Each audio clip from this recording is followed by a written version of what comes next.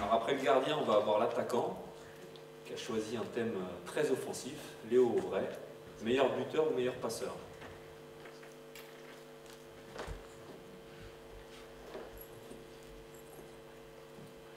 Mesdames, Messieurs, avant de débuter ma plaidoirie, permettez-moi de poser une question. Accepteriez-vous de voir un match où il serait interdit de marquer et dans lesquels les, les seules actions de jeu seraient constituées de passes?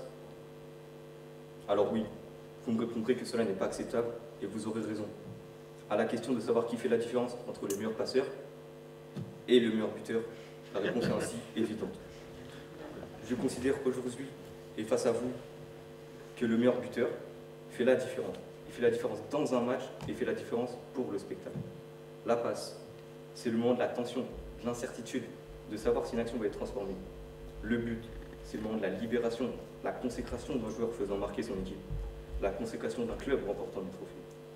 Qu'est-ce qui est le plus gratifiant Être le passeur ou le buteur? Préférez-vous être au fond de l'attaque ou en arrière? À mon sens, la position de buteur est nettement supérieure à celle de passeur. La position de buteur est celle qui est la plus naturelle dans notre sport. Le football. Sans buteur, il n'y a pas de but. Il n'y a pas de victoire, il n'y a pas de titre. Il n'y a que des matchs terminant sur un score de 0 à 0, c'est-à-dire des matchs nuls. Nuls au sens propre du terme.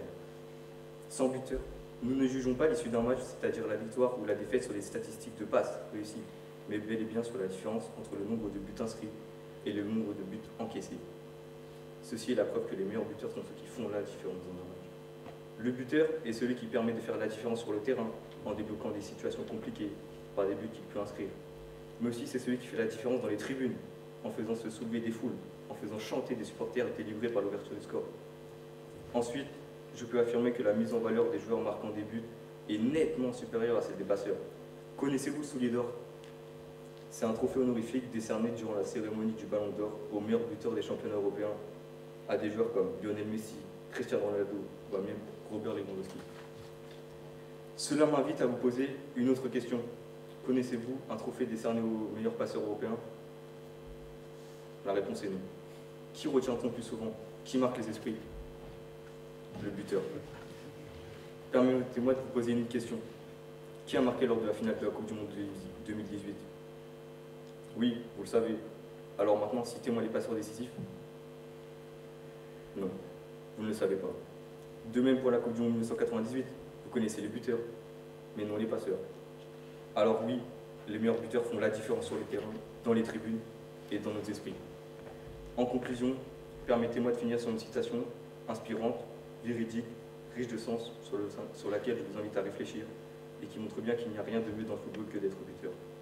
Cette citation est celle d'Olivier Giroud, un buteur hors pair qui finira de vous convaincre sur ce sujet. Je cite Le but, c'est une drogue, ça devient une obsession. Donc j'imagine que quand tu as été attaquant une fois, tu as ensuite du mal à t'en passer. Je me souviens que j'étais dégoûté plus jeune quand mon coach me faisait passer derrière parce qu'il manquait quelqu'un. Moi, je joue au foot pour marquer des buts. Merci.